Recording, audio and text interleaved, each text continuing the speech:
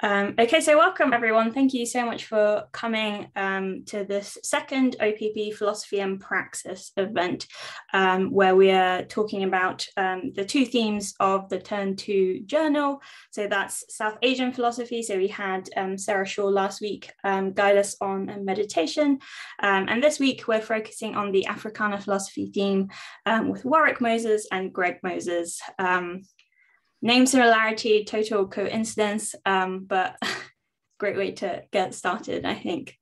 Um, so um, to start um, the day today, we will um, have a short um, talk by Greg Moses, who'll be speaking to us about philosophies of non-violence, especially as they relate to music.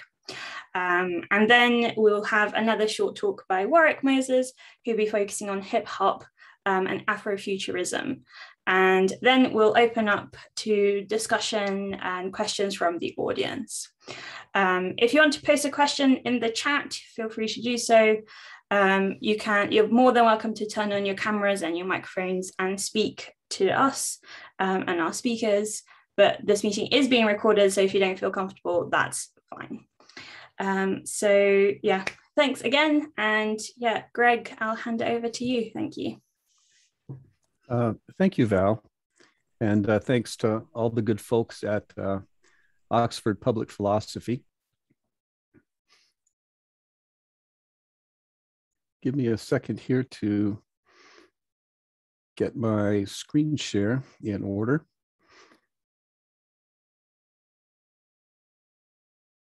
There we go. Um, so today I want to address uh, the topic of nonviolence and the, the music of philosophy. I want to talk about Plato and Gandhi and Baraka. Uh, so perhaps you've heard the allegation that nonviolence had its chance. Uh, today we will address that objection. So we'll do an exercise in the macro theory of nonviolence. Uh, we'll look at definitions and objections to begin with.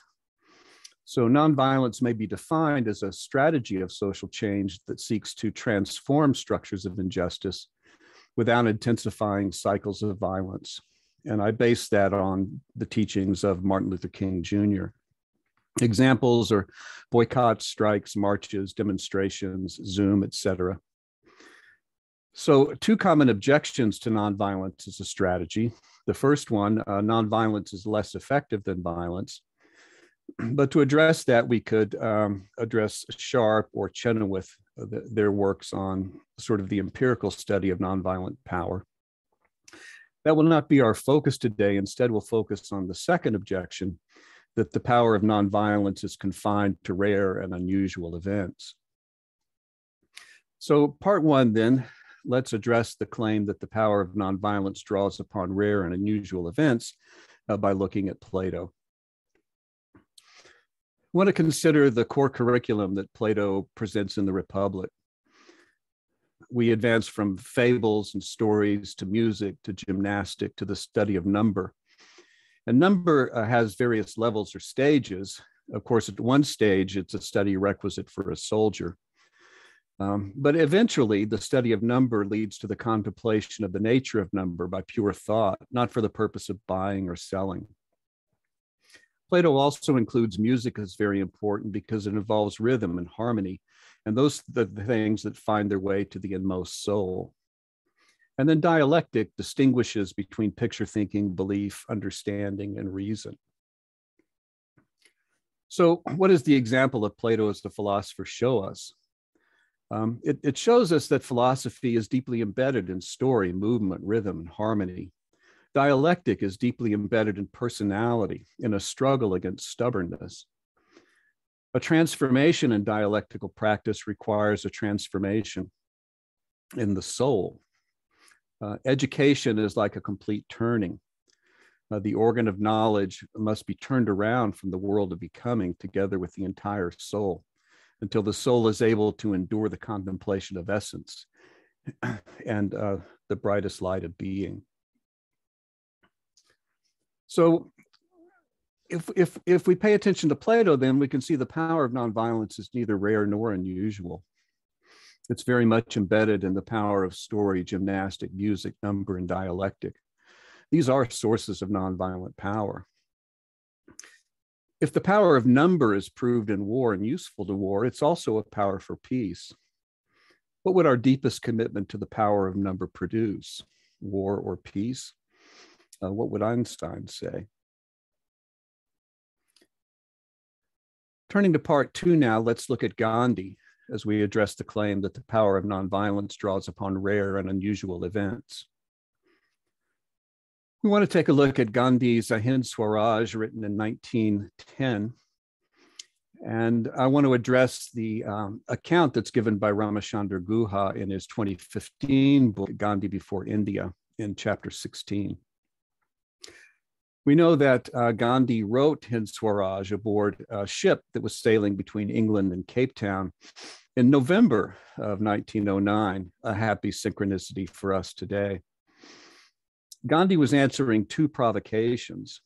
On July 1st of 1909, Sir Curzon Wyllie was assassinated in London by a revolutionary member of the India House. And Gandhi was concerned about the popularity of the killing.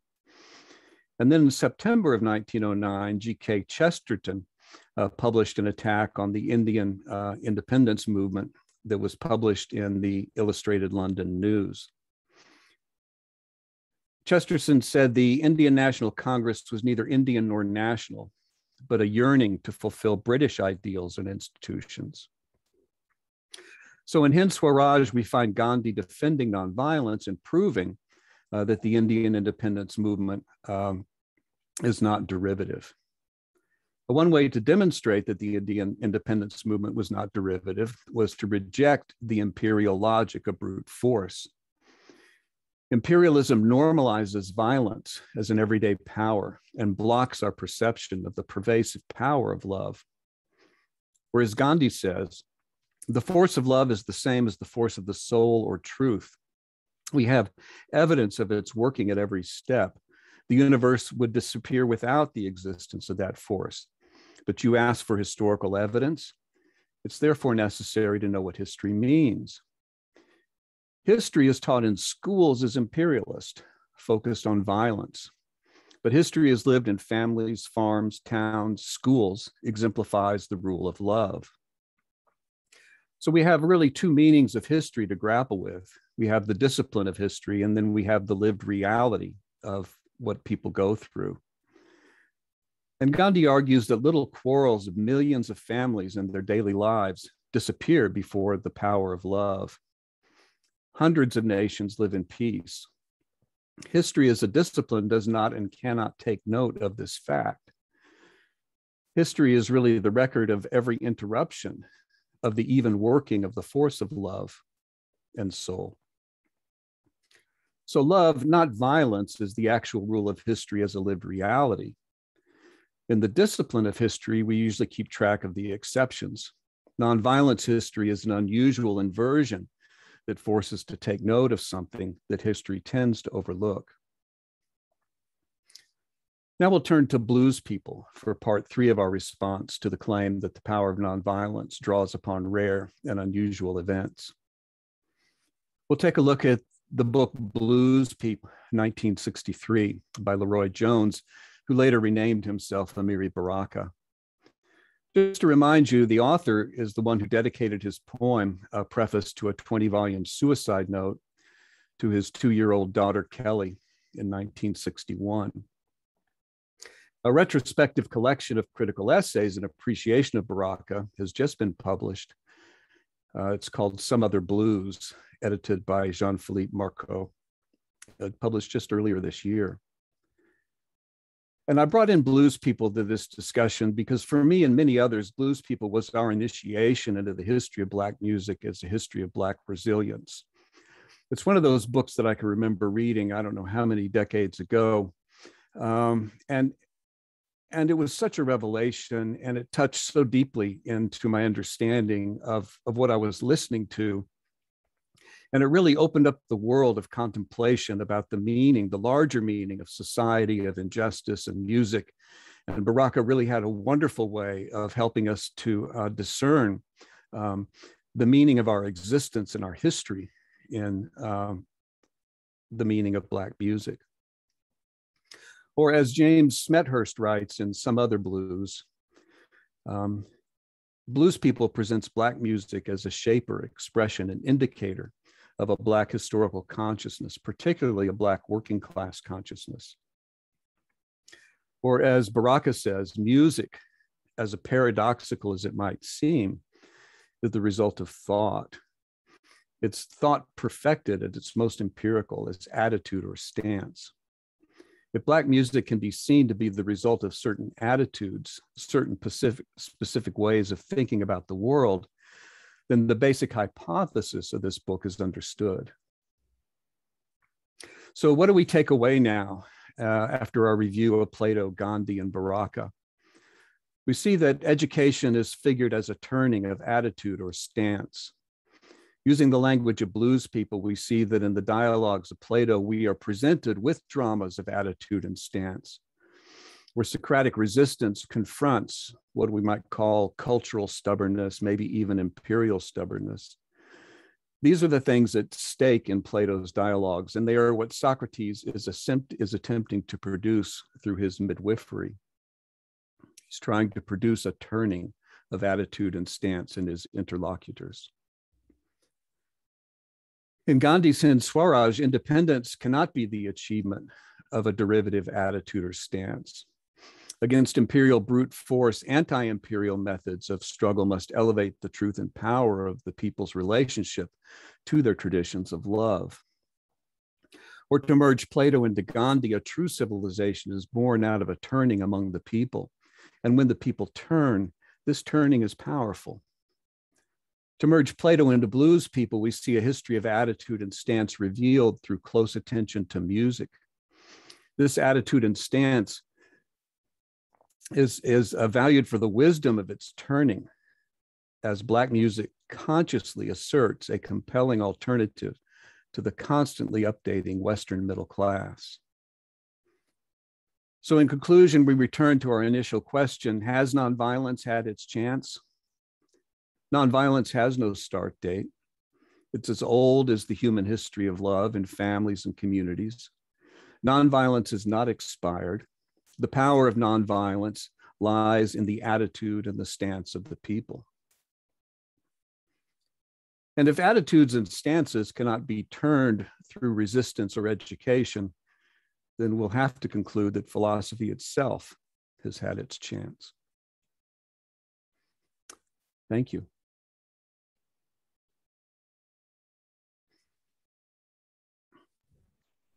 Thanks very much, Greg. That was great.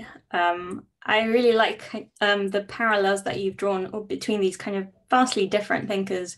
Um, it's great to to to see common threads between um, different kinds of philosophy and different kinds of thinking about the world. Um, so thanks very much for that. You're welcome. Um, so now we're on to Warrick Moses on hip hop and Afrofuturism. Yeah, thanks. Um, thank you, Val, and thanks for thanks, Greg, um, for your paper.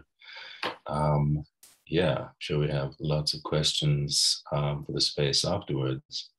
Uh, let me just open up my shared screen. Uh, yeah. Yeah, there we go.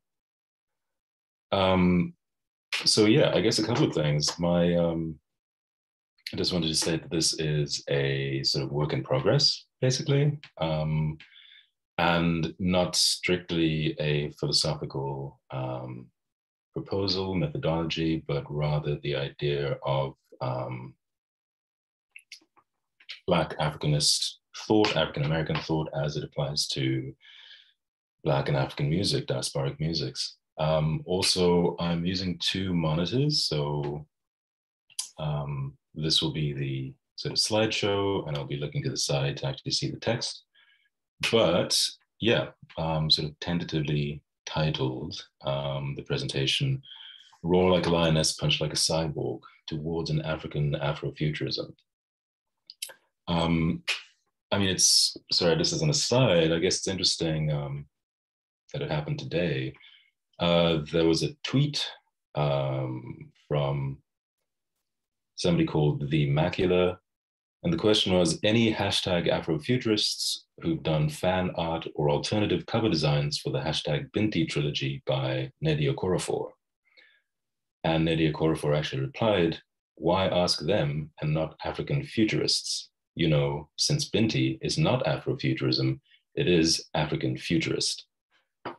So those, that's really kind of the debate that I'll be introducing here, the difference between an Afrofuturism and an African futurism.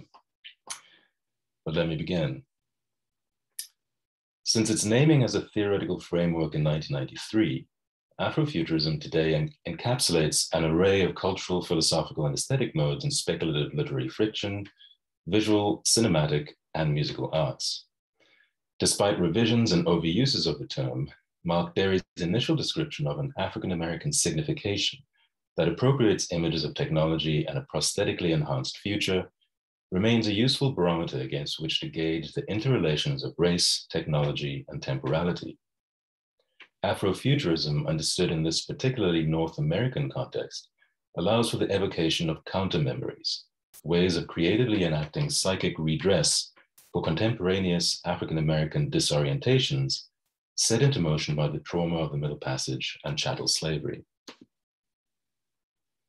As examples of Afrofuturist literature, we have W.E.B. Du Bois' short story, The Comet, from 1920, Samuel R. Delany's Nova, 1968, and Octavia Butler's Kindred, 1979. Notably, their liberatory themes of futurity, space exploration, and time travel are all told from the perspectives of Black protagonists. Artists like Jean-Michel Basquiat, Engelbert Metoyer, and Ellen Gallagher have variously tested the permeability of spatial and temporal boundaries in their visual compositions. Musical examples that address questions of Black identity and possibility via technology can be found in the extensive catalogues of Sun Ra and George Clinton. And their early interrogations have since been taken up by performers like Drexciya, inspired by Gilroy's seminal writing on the Black Atlantic, Erykah Badu tackling issues of Black estrangement through Afrocentric and Five Percent ideologies, and of course Janelle Monáe with her android alter ego Cindy Mayweather, visually derived from Fritz Lang's 1927 feature Metropolis.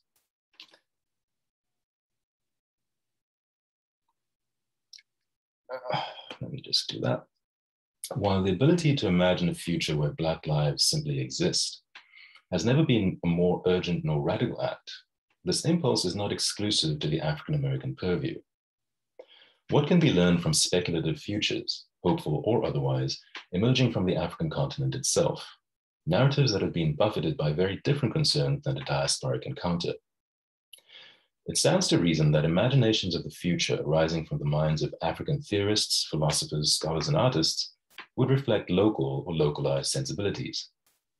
It stands to reason as well that these imaginations can be read as responses to the intrusion of colonialism in all of its forms, by the continual negotiations of transglobal and transcultural identities demanding attention in the present moment, and crucially, by the de-defining, de-writing, and transcendence of such sweeping socio-political forces. As a scholar of African and African American studies, I'm interested in passing the differences between Afrofuturism on the one hand and African futurity or rather gestures towards African futurism.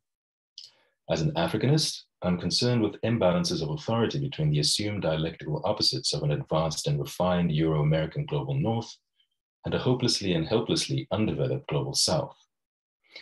And as an ethnomusicologist, which is itself a fraught occupation, I attend to how musical praxis and theory are mobilized in the mediation and instantiation of self and social identity.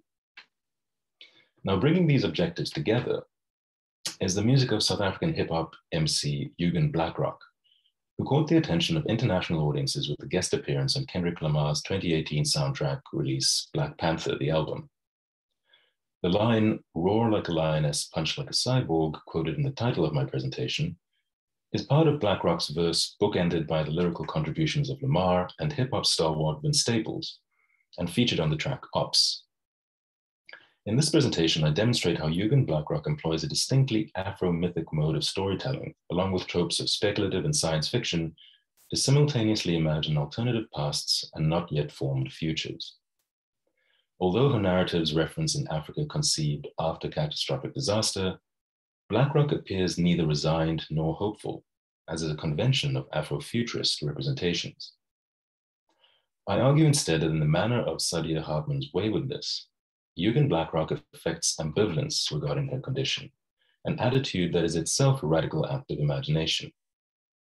Reconceptualizing the possibilities of Black and African life in this way, Blakrok fully inhabits a world of her own conjuring, asserting agency within and ownership of that conjuring. I begin my treatment of selected works from Yugen Blakrok's 2019 full length album, Anima Mysterium, first by clarifying what I mean by the African mythic mode the narrative, philosophical, and aesthetics perspective developed by multimedia artist Pamela Phatsimo Sunstrum.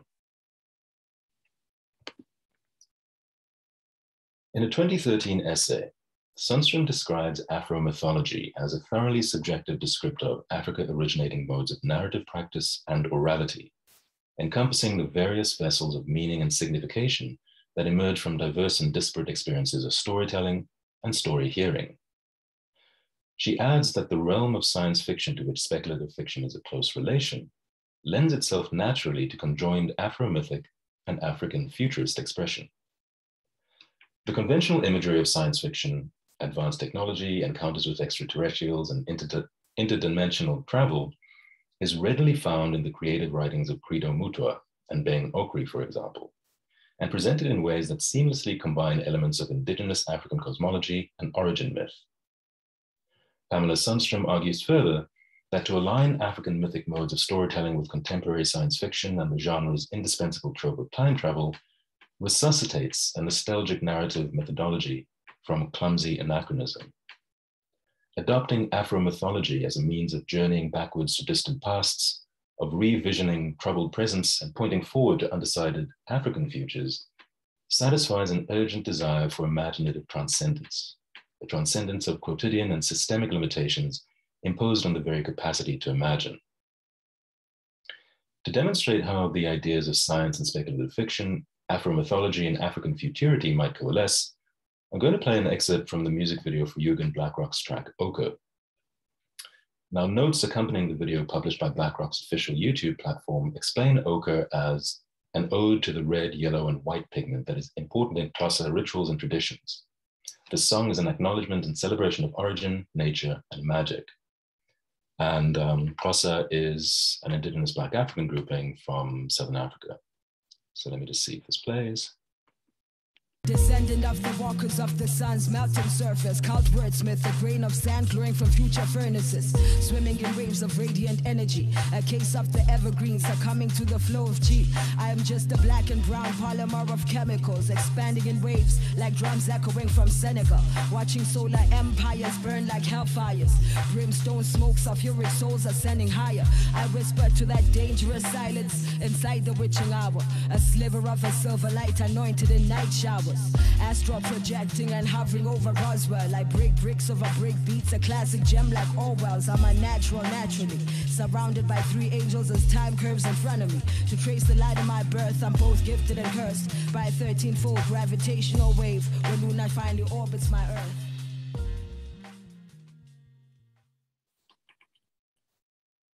With her measured and relentless flow, Yugen Blakrok embarks on an introspective voyage of world building.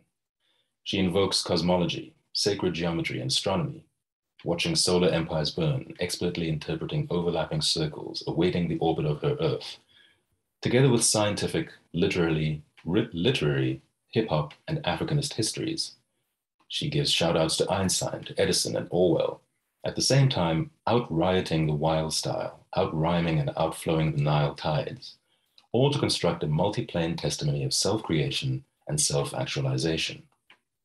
In the opening couplet to the song, Blakrok presents herself as a descendant of the walkers of the sun's melting surface, a cult wordsmith, a grain of sand glowing from future furnaces.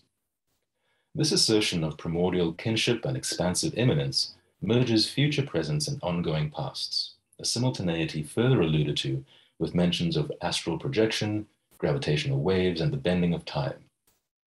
The sonic foundation on which the track is built backmasking effects and insistent hi-hat grooves phonograph crackle, and a Bruce Lee voice sample, contributes to a pervasive sense of time in and out of time. Movement through and across spatial temporal dimensions is, of course, a staple of speculative fiction. But these shifts commonly describe a linear orientation between two discrete points. In the first installment of Nnedi Okorafor's Binti trilogy, trilogy, for example, the titular character, a young Himba girl, travels across the galaxy from her home on Earth to Oomza Uni, having been accepted as a student at the prestigious university there. As a bitulus or a harmonizer, Binti is gifted with the ability to understand deep mathematics, having an innate knowledge of circuits, electricity, and their conductors. Accessing a meditative state, deriving and visualizing complex mathematical equations allows Binti to communicate with the spirit flow and convince them to become one current. By contrast, as my analysis of the song Ochre shows, Yugen Blakrok defies the genre convention of linear sequencing to occupy numerous physical and non-material spaces all at once. This approach is adopted in her track Morbid Abacus as well. Citing divine symbolist thought, Greco-Roman and Judeo-Christian myth, and images drawn from popular culture, Blakrok searches space like quantum physics. She finds God in geometry like Archimedes. She moves anti-clockwise like Neo from The Matrix, and scales the mountain like Moses. I propose that Blakrok's non-compliance with the way the trope is usually applied can be theorized using the framework of cultural historian Saidiya Hartman's waywardness. In her monograph, Wayward Lives, Beautiful Experiments, Hartman documents how the intimate lives, behaviors, and sexualities of young Black women in Philadelphia and New York at the turn of the 20th century were scrutinized, restricted, and criminalized by moral and intellectual authorities, as well as through legal mandate. She questions the perspectives of official accounts left behind by sociologists, photographers, vice investigators, parole officers, and court officials, all of which clarified and classified the movements of Black women as deviant, as failing to match scripts of respectability, as anathema to the forces of social good. Hartman reconstructs the lives of these wayward subjects, the scapegoats of white anxiety, and presents counter narratives that reveal personal experiences strategically excluded from the archives.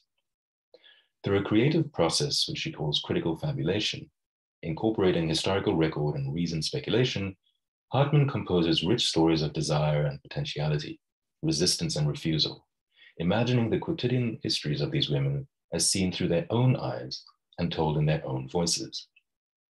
The resulting testimonies reclaim the women as radical thinkers who tirelessly imagined other ways to live and never failed to consider how the world might be otherwise. Hartman depicts her protagonists as agentive, facing down daily acts of racial and sexual terror, and not as tragic victims of their own willful proclivities. Now, in relating the premise of waywardness to the context of speculative African futurism, I find it useful to continue with the comparison between Binti's narrative trajectory and that of Yugen Blakrok. From the start, readers are made to understand Binti's actions as antithetical to him, Himba demeanor and mores. The Himba are an inward-facing ethnic grouping, confined to the Namib, whereas Binti is innately drawn to exploration and travel. She accepts the university's offer against her parents' wishes and sets out for the new planet of Umzi, Oomza Uni without informing anyone, thus contravening the familial expectation that she would run her father's business the design and sale of astrolabes, which are advanced mechanical devices used for text-based information transfer. And she also foregoes the obligation of eventually getting married. The cultural identity and allegiance are called into question at several points throughout Okorafor's trilogy. Binti is inducted as a kinship member of the Meduse, a squid-like race of hive mind aliens. After her DNA is merged with the Meduse, Binti's long black hair, braided forever into an intricate code representing her family lineage, is replaced by smooth, glowing blue tentacles. Later, she connects with her estranged paternal grandmother, an elder of the maligned desert people. Binti learns of this community's link to the Zinariya, solar aliens who transferred genetic material to the nomads, conferring the ability to communicate across vast distances without the aid of physical technology. Binti is then initiated into the desert tribe, allowing her to access this part of her hidden ancestry. Because the Himba are originators of astrolabes, Binti's adoption of sensorial communication further distances her from the foundational ethos of her people. Her most spectacular divergence, though, occurs in the concluding novel of the series. The young woman is killed while trying to broker a truce between the Meduse and their sworn enemies, the Khoush. Through the intervention of a Miri 12, a creature genetically engineered for use as an intergalactic transport vessel, Binti is resurrected and irrevocably paired with the animal, leaving her physiology almost entirely comprised of alien biological markers. Now, Yugen Blakrok's deviations from standard practice are not nearly as dramatic or melodramatic, but they are by no means insignificant. I've already addressed the artist's nonlinear navigation of spatial temporal constraints, an approach that enables her to inhabit and create worlds of coincident pasts, presents, and futures. With this next section, I want to draw attention to the way that Yugen Blakrok expresses imbricated, imbricated and simultaneous components of her own identity.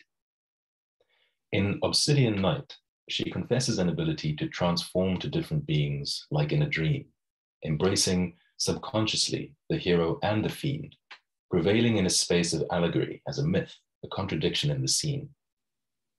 The impulse to reevaluate such diversions, to bring together incommensurate polarities and nurture them within one being, features most prominently in the track Gorgon Madonna.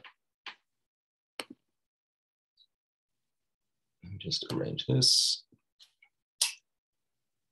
Recall the Greco-Roman myth wherein Athena punished her daughter Medusa for inciting Poseidon's rape by transforming the young girl into a hideous Gorgon, Gorgon with a nest of serpents for hair and ensuring that all who gazed upon her would turn to stone.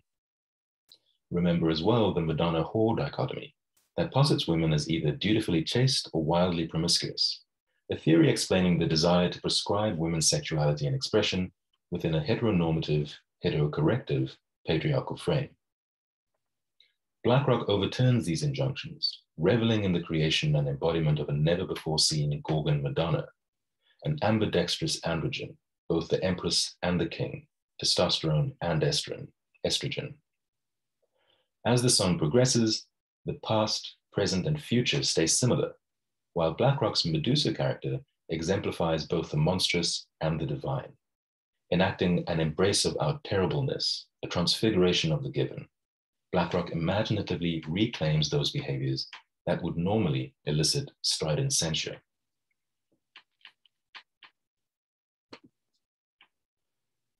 Acknowledging the variety of ways in which women branded as errant, fugitive, or troublesome might demonstrate being wayward, Saidiya Hartman stresses that to actively engage in waywardness is a continual and intentional process. She contends that waywardness is an ongoing exploration of what might be, the untiring practice of trying to live when you were never meant to survive.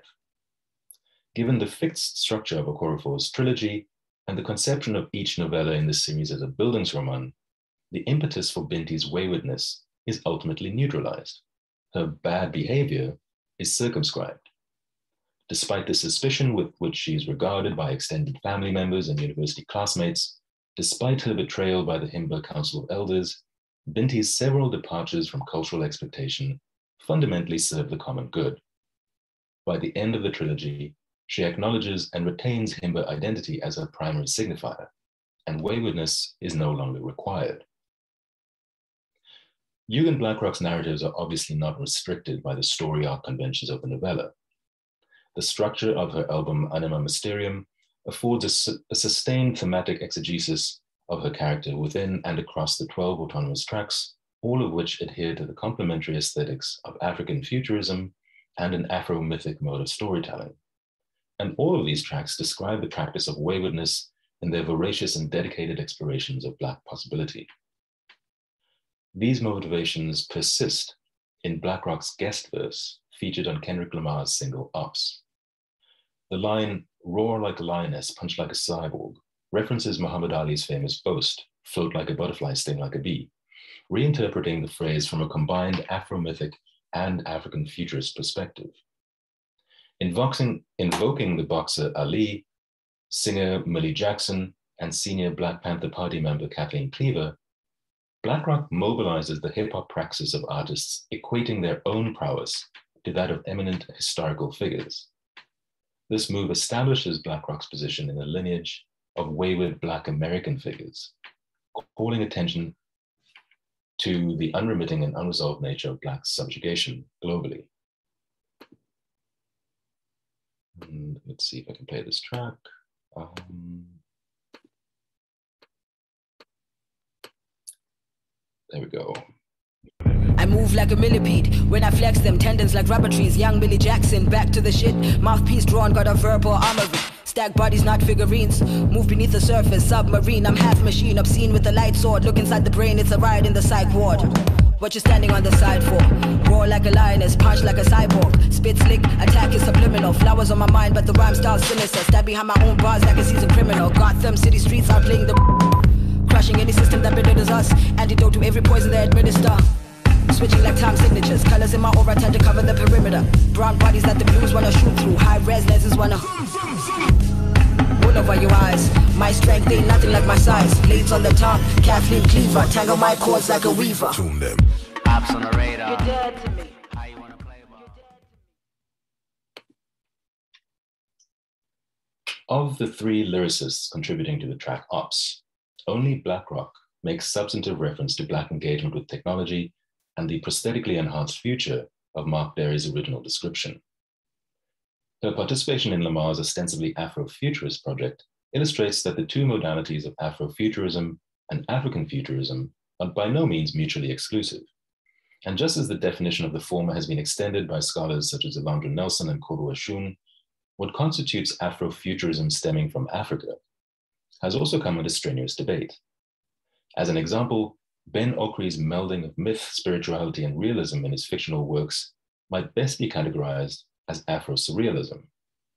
An appreciation of Credo Mutwa's writing is tainted by the inability of early readers to distinguish between myth and outright fabrication, if not by the author's open collusion with the apartheid government.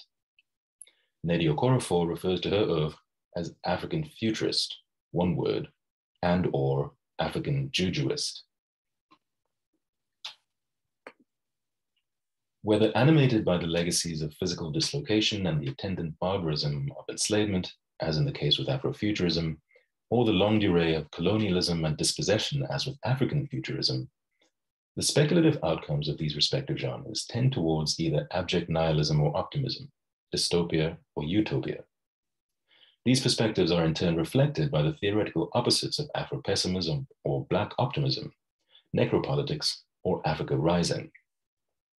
In this presentation, I've considered Yugen Blakrok's work through the lens of Saidiya Hartman's waywardness to illustrate how the artist defies spatial temporal genre conventions and why these ideological dissensions are necessary. Blakrok's vision of future pasts and concurrent looming presence is neither negative nor positive, but instead is ambivalent. Because the oppression of Black life transcends time and place, so too must Black resistance and Black imaginations of alterity. In closing, I wish to propose a when and a where, a conception of space-time at which Blakrok's Afro-mythic African futuristic provocations occur. Now, throughout South Africa, traffic lights, traffic lights are referred to as robots. Passengers yell out, after robot, instructing minibus taxi drivers where they would like to be dropped off. This expression conjures a pre-modern dark continent rationalization of technology as magical or otherworldly. It also evokes an African post-future in the wake of flying cars and personal jetpacks. For the immediate present, the expression after robot signals an everyday environment where informal economy tradespeople interact with occupants of vehicles stuck at red lights, where passengers alight on the way to their next destination, where journeys begin and end.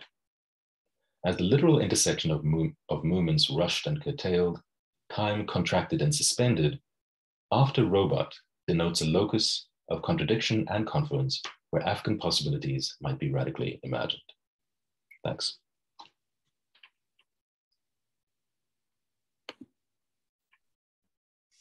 Thanks very much, Warrick. Um, that was great. Um, thanks so much for introducing me to Blakrok. I'd never heard of that before, but um, I'll be looking up on YouTube afterwards. Um, very very cool.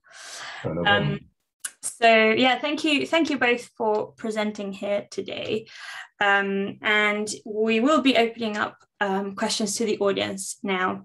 Um, so basically, how you can ask questions, you can raise your Zoom hand, um, or you can post something in the chat.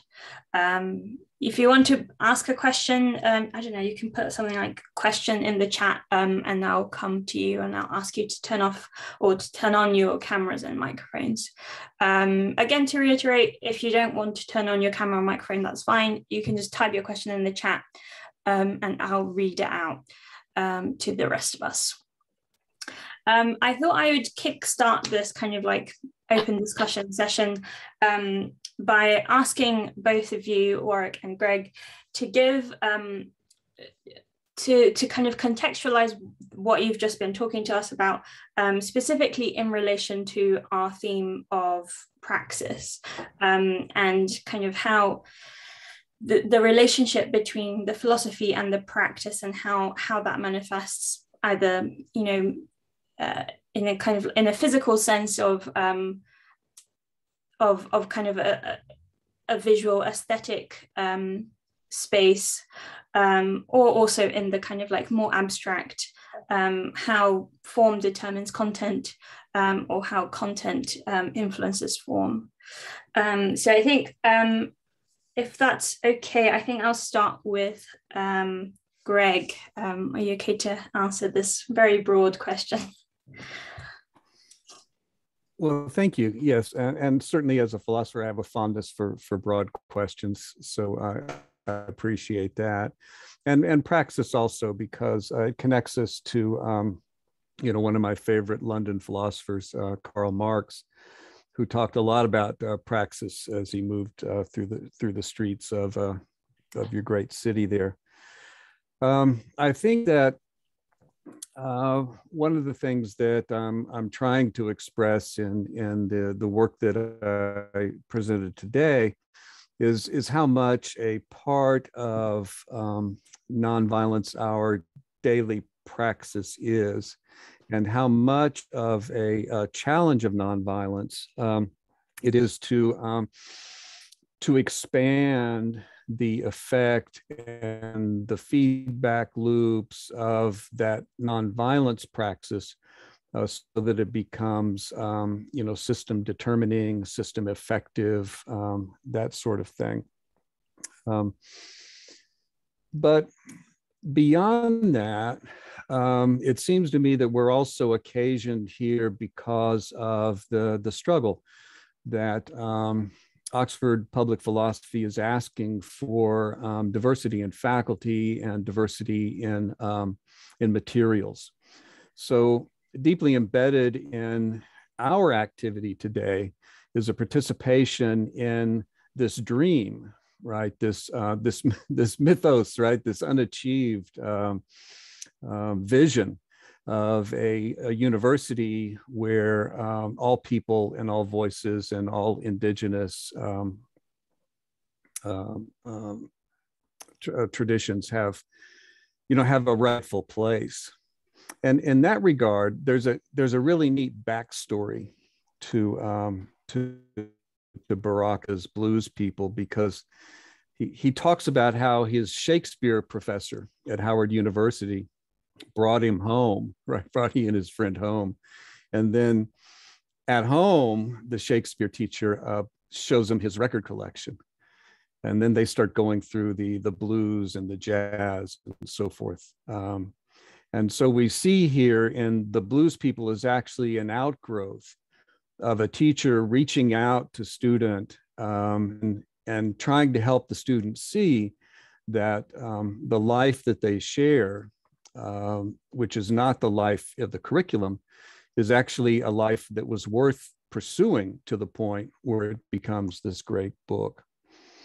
Uh, so uh, thank you. Um, you you asked really um, inviting question, and and uh, I apologize if I've taken too much liberty with it. Um, yeah, thanks. Um, I'm I'm sure I, I have some follow-ups, but I'm sure um, our audience does as well. But I think I'll turn to Warrick at the moment. So Mhm. um, yeah, just to to kind of like recap that perhaps a bit confusing question. um, it's just the return to kind of in within the context of of practice um, and the relationship to the philosophy and how that manifests mm-hmm. itself. Yeah, thanks.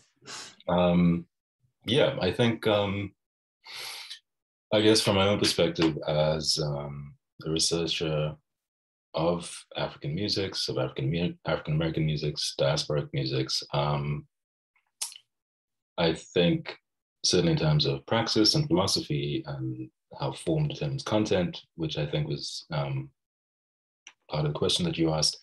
Um, I think it's important to, I think it's important when looking at African music to, or African proposals to um, engage with African scholars. Um, certainly in ethnomusicology, Kofi Agawu is a prominent um, musicologist prominent figure in that field. Um, I mean, Wiwa Mudimbe's, Gnosis, you know, um, these are all, you know, ideas that sort of we've been familiar with, but how often um, are Black African or actual African um, theories applied to the study of these kinds of um, these kinds of ideas, and um, yeah, I guess with my um, with my sort of presentation here, really just making that distinction that like, yeah, you know, there is Afrofuture, the Afrofuturism came from a very specific um, historical context, and African futurism came from, you know, a much different historical context. Um, so how do you imagine these two working together? How do you imagine um, the origin of them? How do you interpret them? How do you pass them? Um, and the way to do that is through yeah through the philosophies through the approaches that are actually um, i think presented by scholars in those fields or i mean yeah scholars from those from those regions as well yeah i think yeah that's a great point and i mean that's part of why opp exists um, you know which is to um, to ask these questions and to raise these points um, and really to um, to give a platform to serious scholarship in this area, um, which is why we're so glad to have you both here today. Um, so I don't see any Zoom hands or questions in the chat so far. So I'm going to jump in um, with some of my own questions. Um, so I would like to just return to Greg Moses for a second. and I wanted to ask mm, a very, I think, I, I think simple, but maybe maybe deceptively weirdly complicated question that um, is non-violence itself a practice um, or is it a consequence of, of a of a different kind of practice or of a way of looking at the world um, like you especially kind of drew um, attention to kind of the way that history is taught you know from an imperial perspective and so that history we we see it as a kind of a history of violence. Um, but that's just um, you talked about that being the exception. You know that our lived experience is is rather different. Um, so in terms of non-violence as a is non-violence a practice that we actively um, kind of pursue in contrast to that, um, or is then non-violence um, something that emerges out of the practice of kind of anti anti imperialism, anti colonialism, or different ways of thinking about the world. Uh, thank you. Uh, thank you for the question. I think that um, there's a way in, in, in which nonviolence um, expands um, be, beyond a kind of a helpful zone. So um, there, there's a sense in which uh, nonviolence can connote um, sort sort of timeless themes of of love that that are not um, bound up with uh, with a with a kind of a specificity to anti-imperialist struggle. Uh, and and it's helpful to place it in that context as I've done.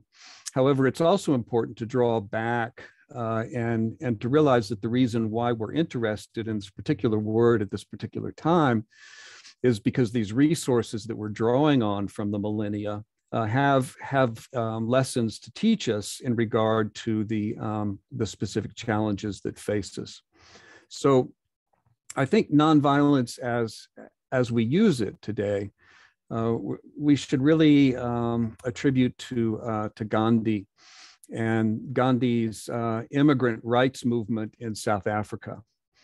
And, and if we think about the, the specific uh, situation of immigrant immigrant rights in South Africa, and we think about the kind of power uh, that has to be um, accumulated and exercised under those kinds of circumstances, then we begin to see uh, what we're talking about when when when we have the the form and and the content of uh, of nonviolence praxis. So, is it a practice? Uh, yes, um, it it is a practice. Um, it's it's a creative practice. It's a it's a matter of uh, bringing things together and putting them into a kind of a shape and a form that has some kind of effect, right? So this this bleeds into the um, you know the question is it a practice or is it an effect? And and certainly it seems to me that nonviolence has to prove itself through some kind of effect. In other words we wouldn't be talking about nonviolence had, had gandhi's movement been a total failure right? It, it would have been more of a curiosity. But it turns out that the way that he was solving the problems with immigrant rights in South Africa, um, he developed uh, certain certain forms and content of praxis which which tend to be transferable to uh, to like like situations, uh, which involve a racist state, uh, which involve stateless people, um, which involve Im- imperial greed, um, and you know on and on. So um, the nonviolence then is a uh, is a complex response to these um, to these complex um, processes of oppression.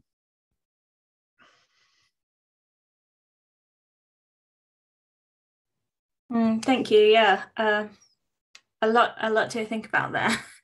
um, so I think um, now I'll I'll come back to to Warrick and again kind of in this um, relation of, of, of history and myth making. Um, I was really interested in what you talked about Afro mythology, um, and I think that similarly, there's a connection to kind of the historical and the traditional, um, as well as to um, creative, um, future-oriented um, imagination. Um, and especially it was kind of the the opening couplet of um, right that made that made that connection um, to kind of the uh, more ancient past um, as to the present and the future um, I was yeah I was wondering if you could um, say say a bit more about that um, as a as a practice of um, I guess of of of imagining a, a, an African or Afro future. Yeah. Um, sure. Sorry. Um, thanks, Val. And also, I just uh, was looking at this question from um, Ananya Basu. I hope I pronounced your name correctly. Um, and I think I'd like to kind of combine those two ideas. Um, yeah, I assume everyone can see the question on chat. Um, do you not think that African futurism's ability to extricate culture, mythology, history from the Western viewpoint itself is a privilege that most African Americans and thus their Afrofuturism doesn't don't have access to? Um, I know that there's criticism of Black Panther being ostensibly about Africa, but in reality still linked to an American colonial view. But do you see much of an alternative for the African American creator? Um, I don't think that it's um, and I hope that I'm able to answer both of your questions at the same time. Um, I think when I think of the word privilege in this context, um, it implies a hierarchy. Um, I think that the African American experience um, is just very different from the um, from the African, you know, continent, you know, African continent experience. Um, and I don't um, and perhaps perhaps there's a richness, perhaps there's a uh, or perhaps more of a more of a call for that imaginative experience in an African American context because there isn't perhaps you know this sort of mythologic, mythological basis.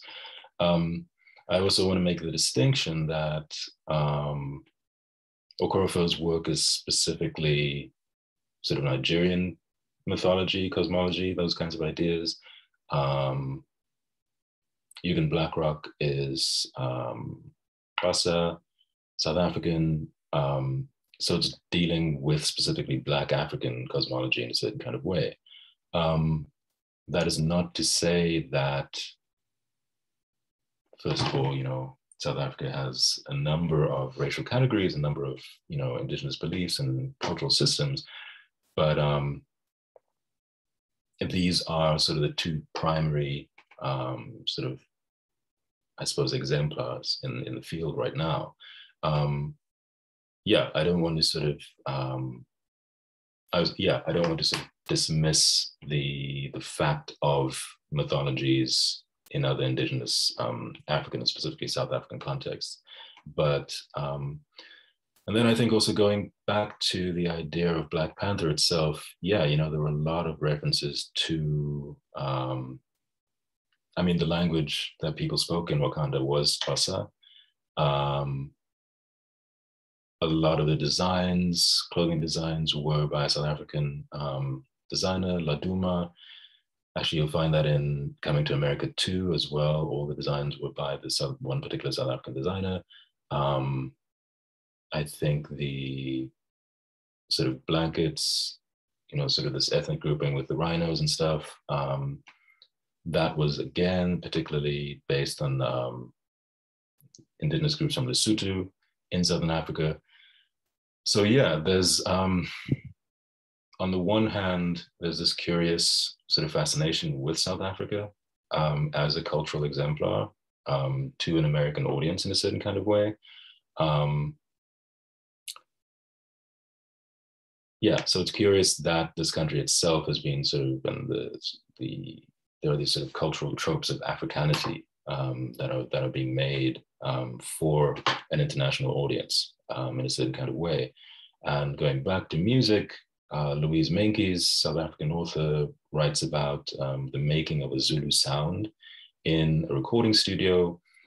She talks about this, this you know, these sort of um, compromises between the Black African musicians and the white studio engineers and creating a Zulu sound, Zulu musical sound, ostensibly for an American or an international audience, you know, run at the time of, you know, kind of Peter Gabriel's world music expositions. Um, yeah, it's um, it's an interesting idea how ideas of Africanity themselves are being represented, um, how stereotypes are perhaps um, not only exaggerated but also mobilized in certain kinds of ways for you know indigenous groupings themselves. Um, I think there's a quote from um, Ethnicity Inc. by the Comaroffs. Um, you know, something along I. I have to paraphrase, but there's something along the lines that, you know, if we can't market our culture, does that even mean that we have a culture? You know, it's those kinds of ideas of how to sort of enter the market in a certain kind of way through representation. Um, but yeah, um, I feel like I've gotten very off point. But the idea of um,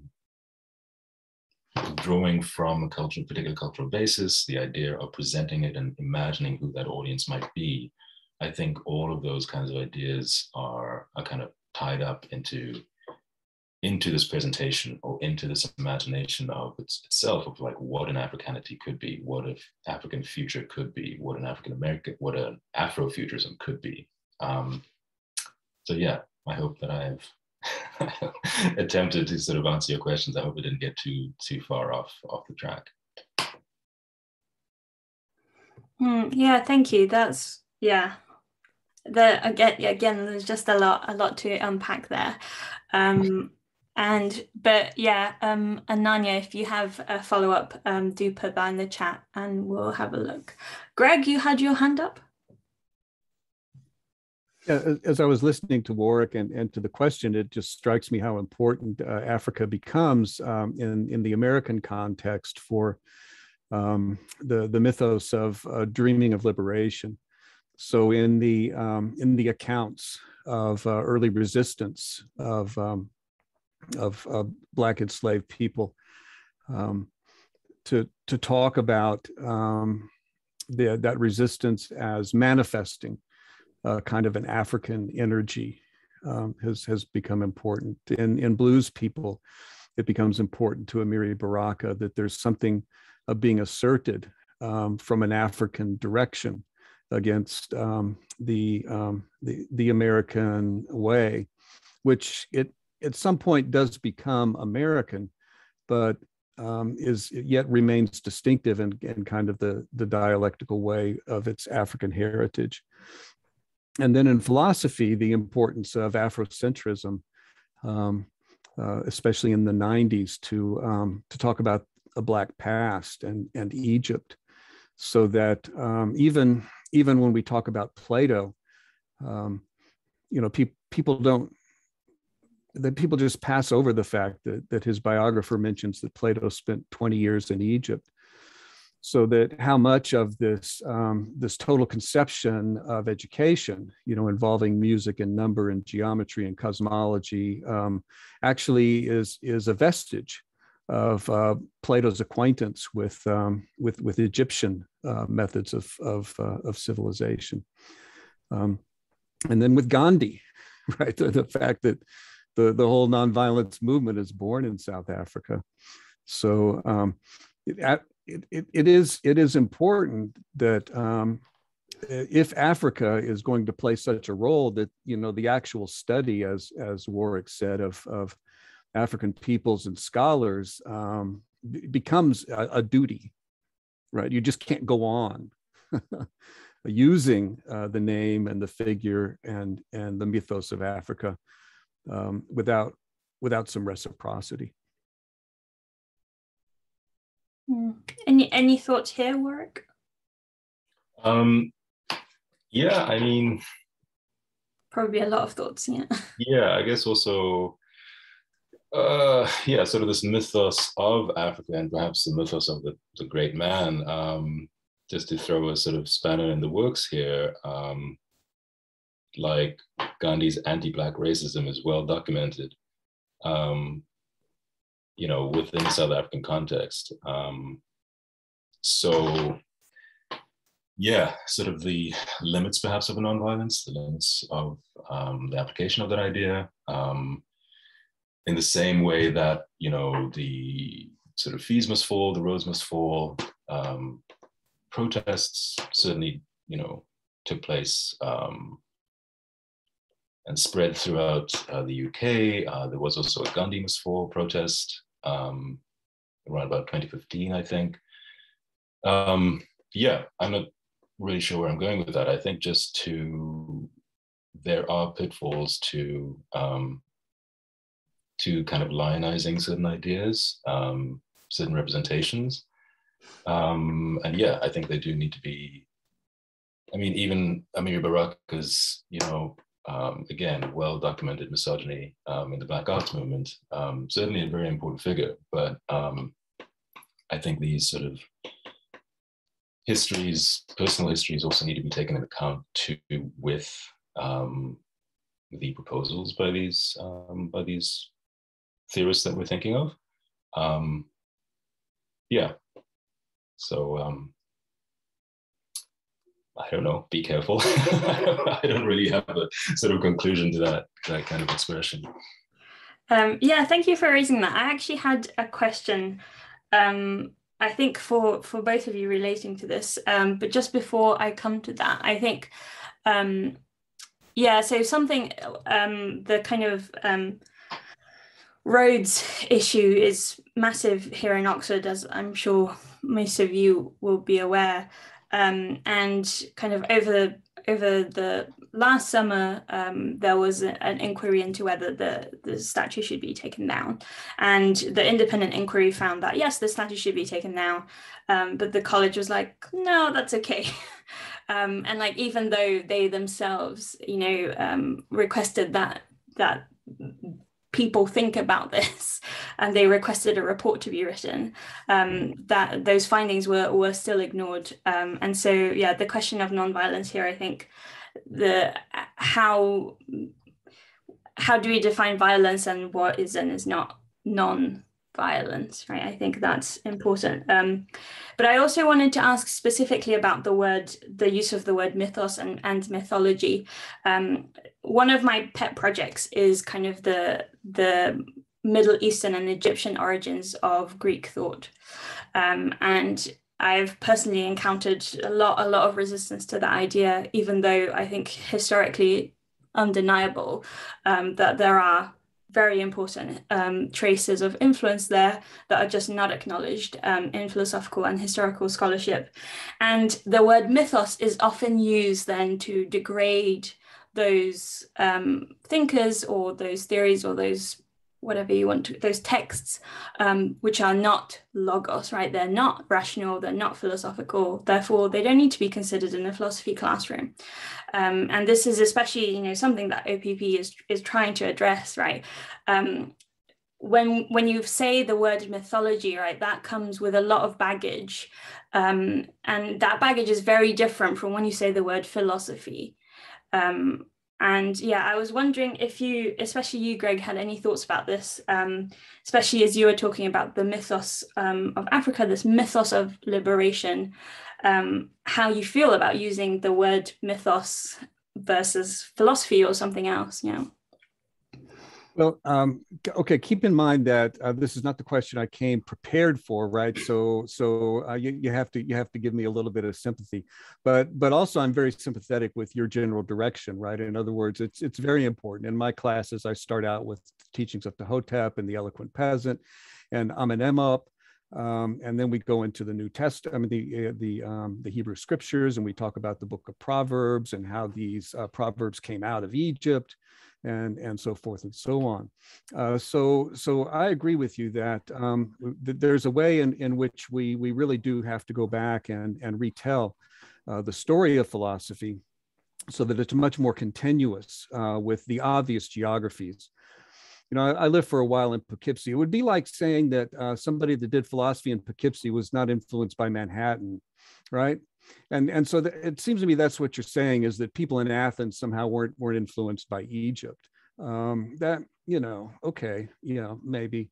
Um, so so that's my my first response. Now the the more the more technical um, question about mythos. Um, let, let me take a let me take a um, I was going to say stab, but I was thinking, oh my God, that's not nonviolence. But let me let me take a stab at it. Um, this has to do with the philosophy of language and and I think that Freud and Lacan are onto something. So we have to interrogate uh, who is speaking, where are we speaking from, and it seems to me that when you get into the question of who is speaking and where are we speaking from, you get into very deep questions of mythos. In other words, I don't know how you answer that question through logos, right? Um, there is a subject who is speaking. Who is the speaking subject? And as the speaking subject knows themselves as speaking subject, um, they know themselves as subject speaking in and out of their, um, uh, their relationship to mythos. Um, we know ourselves through, through the stories we tell, through the stories we participate in, through the stories of our lives, right? So I'm, I'm, I'm, I'm, I'm working on the story of my life, right? Um, every move I make, I'm thinking about, you know, well, you know, consciously or unconsciously, um, how does this work into the narrative of who I am? So, so I don't see how you break um, the the necessary narrative of mythos uh, from the um, the possibility of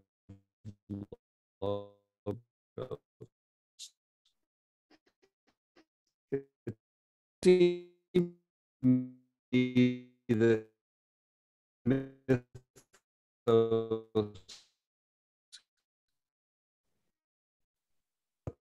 logos um, and the support rightfully want to sorry greg i'm going to stop you there you're breaking up slightly yeah um you back? I think you might be back now. Yeah. uh, uh, sorry, um, maybe I was uh, talking too fast, but um, I think I think I got the the general gist of what I wanted to say. Um, yeah. Um, do you have any any quick thoughts on that, Warrick? We do have a question in the chat.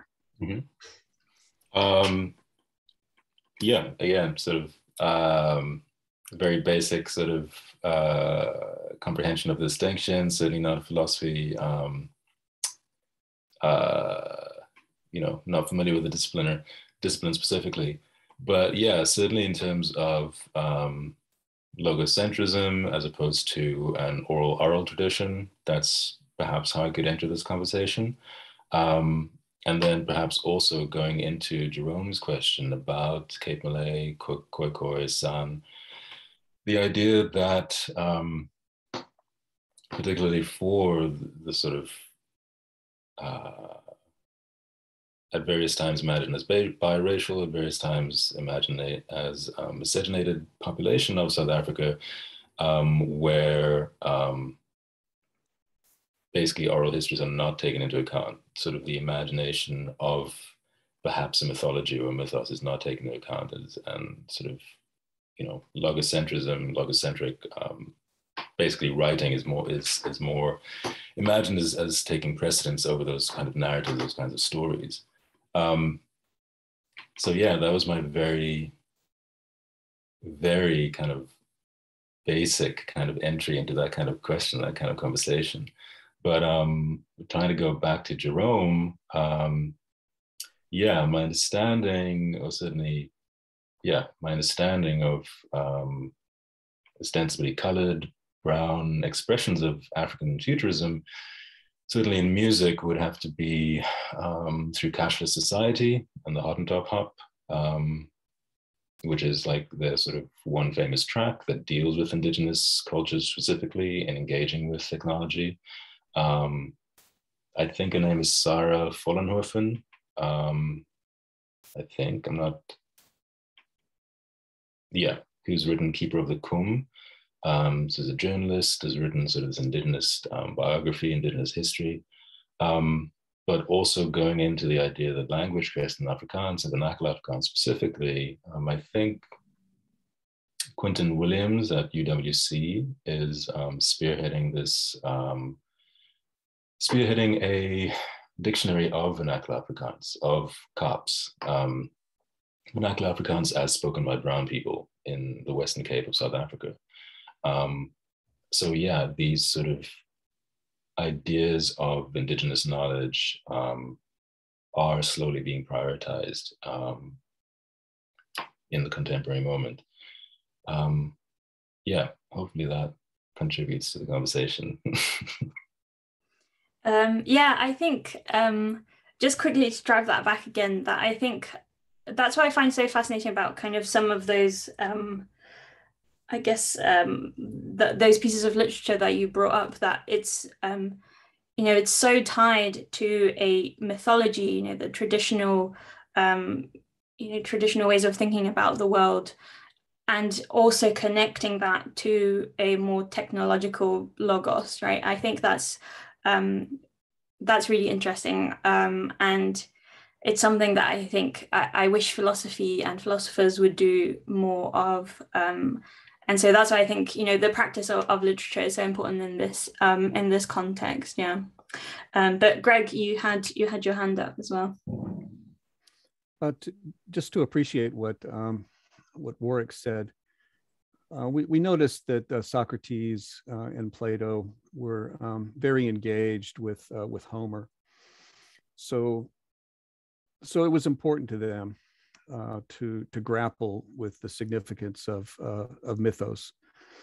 And and as Warrick said, when philosophy refuses to do that, then and essentially what it's doing is it's it's cutting itself off from attention to um, indigenous uh, societies and and then aggravates uh, the cycle of imperialism.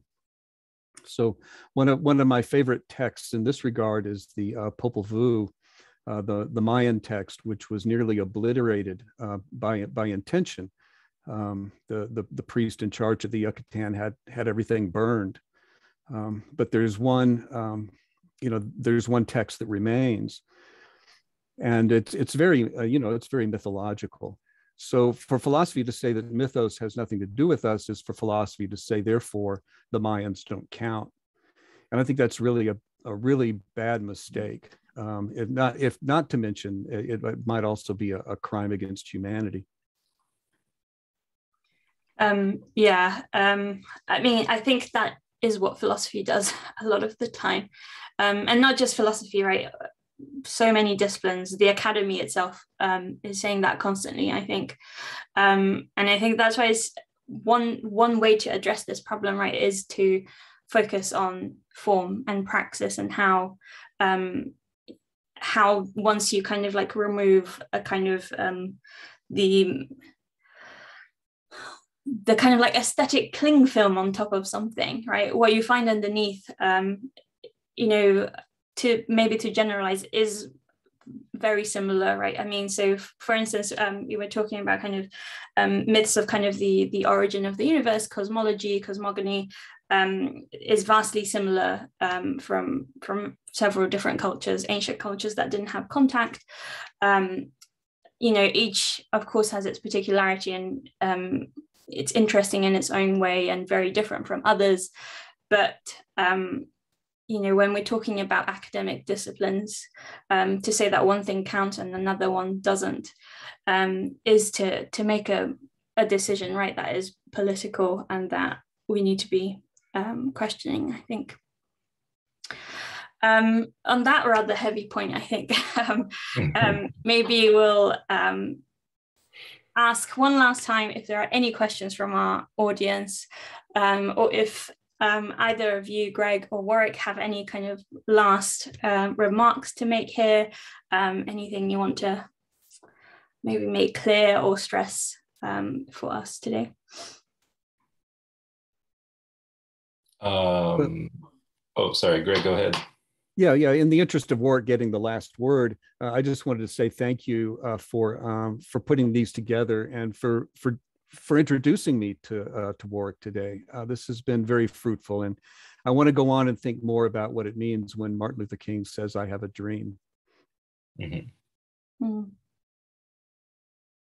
Um, yeah, thank you, Val, for organizing this, and thank you, uh, Greg, for your um, presentation and, and answering questions and, and, certainly raising some very very, interesting ideas. Um, I guess we don't have a we don't have a whole lot of time, but I, I would be more I would be pretty interested in hearing um, what you guys are actually working on. Um, you know, as students in in the group itself. Um, perhaps that could be done over personal email more than anything else, but um, yeah, thank you for the invitation. And um, yeah, I hope that this, I hope that Greg and, and my presentations have, have helped um, in your thinking, in your, in your work. Uh, yeah, thank you very much. Um, I think I'll quickly just stop um, the recording now.